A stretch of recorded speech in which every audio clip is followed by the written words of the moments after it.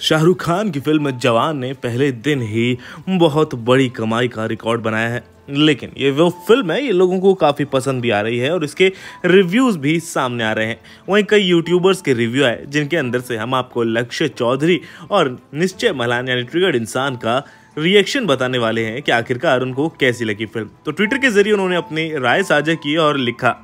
Shahrukh, Vijay Sethupathi, plus every other actor did a great job.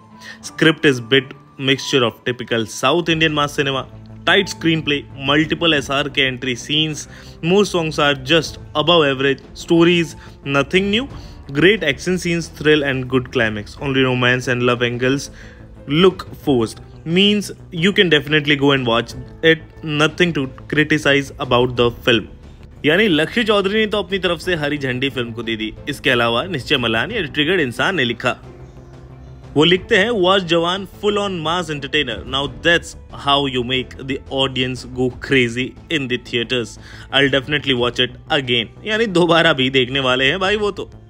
Film को मिल रहे हैं इतने शानदार रिव्यू आपने क्या फ़िल्म देखी है? कमेंट करके बताएँ। कैसी लगी आपको फ़िल्म? अगर देख ली है तो ये भी बता दें और भी खबरों के लिए सब्सक्राइब कर दें। चैनल देखो देखो को।